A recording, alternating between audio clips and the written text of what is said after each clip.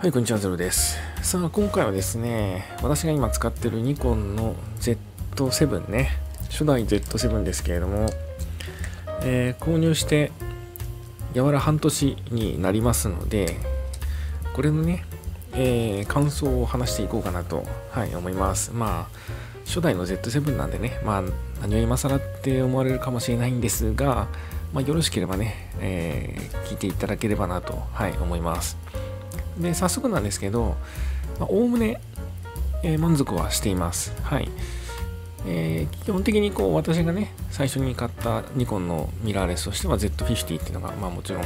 ありましてこれも今今手持ちで持ってるんですけどま、使ってはいないんですけどね。完全に使わなくなっちゃったんですけど Z7 ばっかり使ってるんであの使わなくなっちゃったんですけど一応サブ機としてまだ持っているんですけど、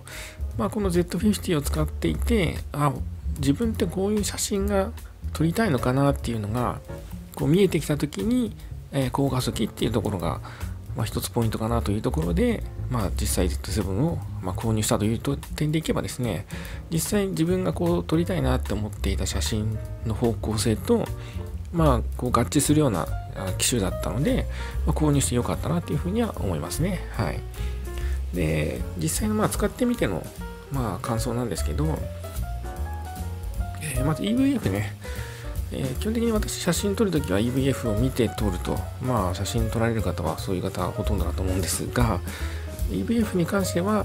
非常にあの綺麗だし見やすいなというふうに思います。で私自身がこの EVF に求めることっていうのはですね、えー、綺麗だとか、まあ、画質とかっていうその辺はまあもちろんなんですけど一番重要なのはですね実際にえっ、ー、と自分がね今見てる肉眼の映像と絵とねで実際に EVF で見えてる絵っていうのがまず合致してほしいんですね。はい。でその上で EVF で見えてる絵がそのまま写真としてアウトプットしてくれるというのが一番こうやってほしいことなんですね。なのでだからまあ極端な話肉眼で見てるものがそのまま写真になってほしいんですよ。まずね。でそこから何かこう写真自体をね絵作りしていくとかっていうのは全然あのやればいいことであってまずはその見えてるものがちゃんとそのまま撮れるかどうかっていうところが大事なんですよね。で EVF っていうのはその、えー、実際に出力されてくる絵っていうのが、えー、見える、まあ、いわゆる、えー、仕組みというかシステムなので、まあ、それがね実際にほぼ肉眼で見てる絵と同じような絵が、え見れるともちろん設定によって変わりますよ。ホワイトバランスとかね、ピクチャーコントロールとかそういった設定によっては変わりますけど、えー、実際に肉眼で見えてる絵と、なおかつアウトプットしたい絵っていうのがこううまく合致してくれるんで、非常に EVF に関してはすごくいいなというふうに思いますね。これは Z50 でも感じていたことで、もうニコン、おそらくね、ニコンの機種に関しては、もう全シリーズ、全ラインナップがそうなんじゃないかなというのは、まあ一応推測できますね。はい。あと、メニュー構成ね。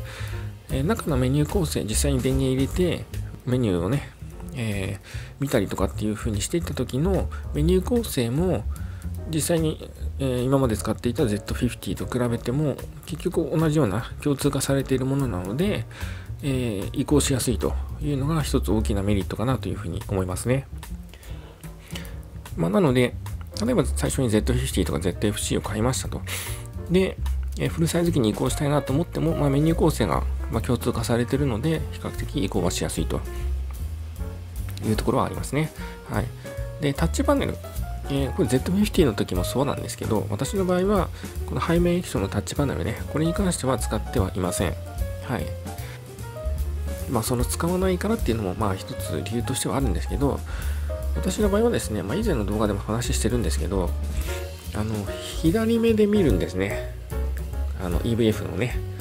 私利き目左目なので左目で見るんですよ。そうすると鼻がどっかこの辺に当たるんですね。その時にですねタッチパネルの方が反応しちゃうんですね。でそれがですね非常に都合が悪いと。いうことで、まあ、実際タッチパネルで何か操作するってこともないのでもうタッチパネル機能は切って使ってます。はい。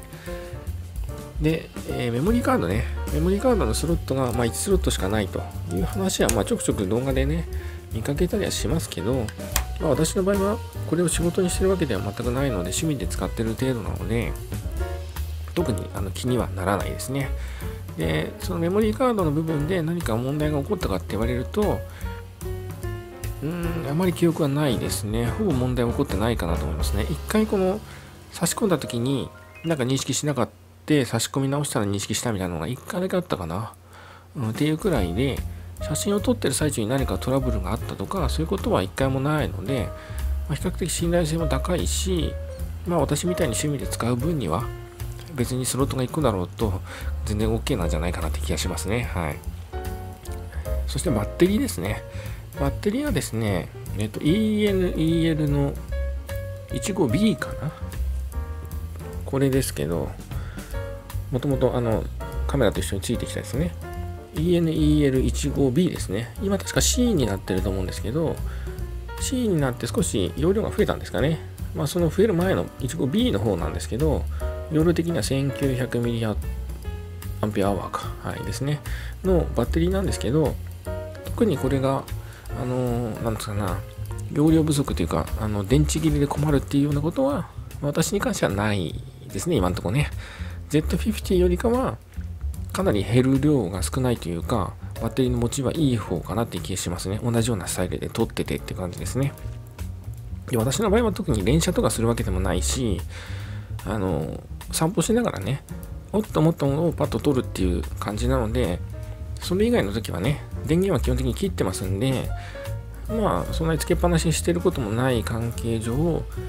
まあそんなに、ね、あのバッテリーも消費しないっていうのはそもそもあるかもしれないんですけどね。あとその撮ってる時間散歩してる時間もせいぜい12時間なので、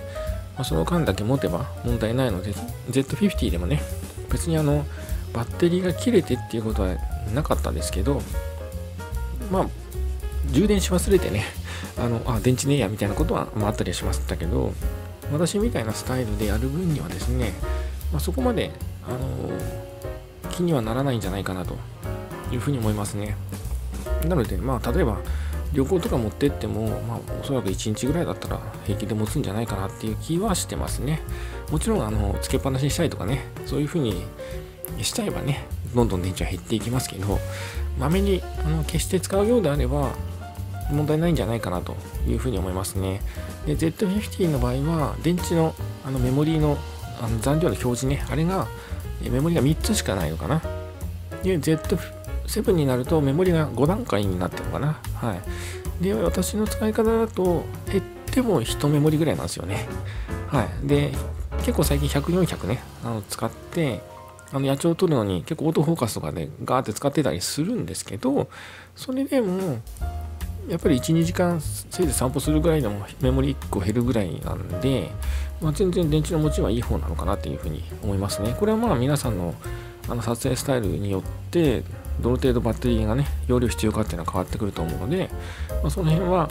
ま使ってみて必要であれば、ま追加ね予備バッテリー追加するっていうのがまあいいんじゃないかなと思いますけどねまあ、私の場合は1個で十分かなって感じしますね。はい。で、なおかつ給電もできるので、例えば、あの移動してる最中にね、あの、モバイルバッテリーかなんかで給電しておいて、で、まあ、目的地に着いた時に、えー、取り外してまた普通に使うっていうこともできるので、まあ、運用次第によっては1個で全然いける可能性もありますよね。はい。で、えー、オートフォーカスね。ここに関してはもうあの改善は、まあ、必須事項かなというふうに思いますね。これはもう Z9 でね、散々言われてることなので、あの、あえて言わないでおきますけれども、あの、私もですね、あの、それなりに結構シビアな状況で撮影はしてるんじゃないかなと思うんですよね。もちろんね、あの、動き物、スポーツ撮影だったりとか、あの、なんつうかな、野鳥でもですね、飛んでるもの、いわゆる飛び物ってやつですよね。まあ、あいったものを撮ってるってわけではないので、まあ、野鳥を撮るっつっても基本的にはあのー、なんだろう木に止まってる止まり物なのでそこまでねオートフォーカスは必要じゃないと思われるかもしれないんですが結構意外と、あのー、合わないことがありまして特にまあ雫の写真はね最近ちょっとアップはしてないですけどあの雫の写真なんかは結構合わないことがあったりね結構ポンって抜けてしまったりとかねそういうこともやっぱりありますし野鳥なんかでも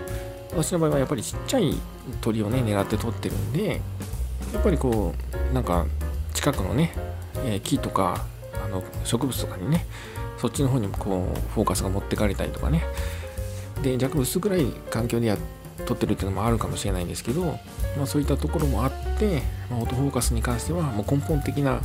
あの改善というかねこれは改善というレベルじゃないですね改革が必要ですね。はい私個人的にはですね今の Z シリーズに関してはもうオートフォーカスはもう Z9 をも含めてだと思うんですがもう根本的なあのこう改改良が必要だと思ってるのでえっ、ー、と予算をね例えば今 Z7 であれば Z7-2 が出てますけど Z7-2 を買うよりかは、えー、初代のね Z7 今ちょっとマップカメラの中古の在庫見たんですけど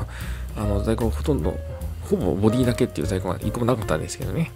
私買った時は結構10代20代20代はないか。15代ぐらいはあったと思ったんですけど今ねやっぱり品薄ってこともあって中古市場もねだんだんあの品薄になってきてますけど、まあ、手に入るようであれば初代私みたいに初代の Z7 高圧機が欲しい場合は初代の Z7 を買ってでその Z7-2 を買う予定だったコストの分で例えばレンズをね、えー、もうワンランクいいものを買ってみたりとかあとはその次のね、えー、機種。例えば噂されてる Z8 ね。私も個人的にすごく注目しててあの噂通りのものだったら欲しいなと思ってるんですけど、まあ、そういったね、えー、次に出てくる機種のためにですね、まあ、貯金をしておくとかね、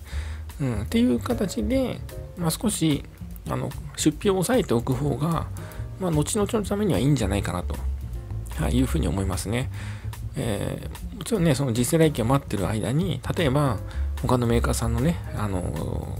機種がね、気になってきて、そっちに移るって可能性もゼロではないと思うので、いろいろとね、その浮いたコストっていうのを、まあ、どこに使うかっていうのは、あの考えてね、まあ、使えると思うので、あえてボーンって Z7-2 とかに行くよりかは、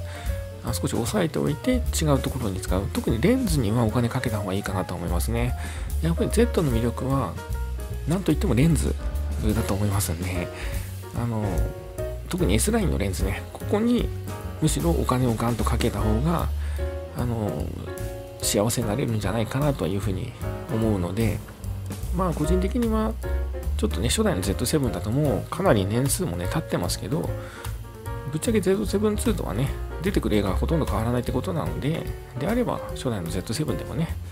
まあ、Z7 で気になる点があって、Z7-2 で解決されてるっていうところがね、明確なものがあるんであれば、それはいいと思いますけど、ね、えー、あえてそこが気になるっていう部分がないんであれば、まあ、初代の Z7 を手に入れておいて、レンズの方にお金をかけるというのが、まあ、いいんじゃないかなというふうに思いますね。はい。ってことで、私個人的には、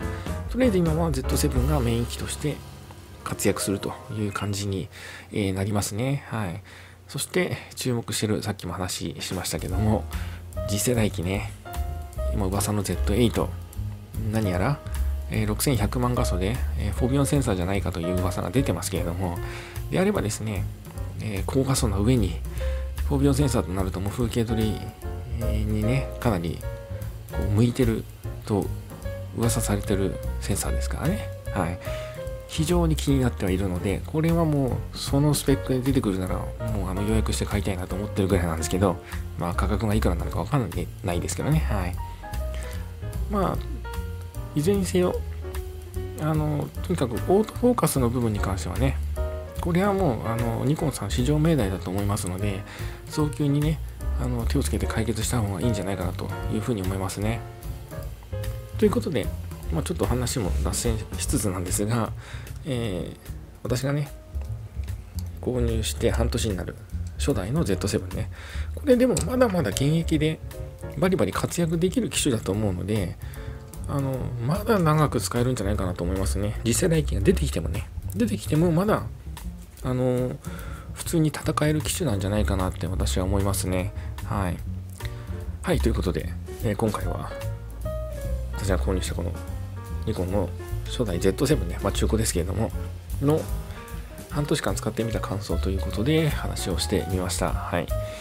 まあ何か参考になれば幸いでございます。てな感じで今回の動画終わりたいと思います。また次の動画でお会いいたしましょう。ありがとうございました。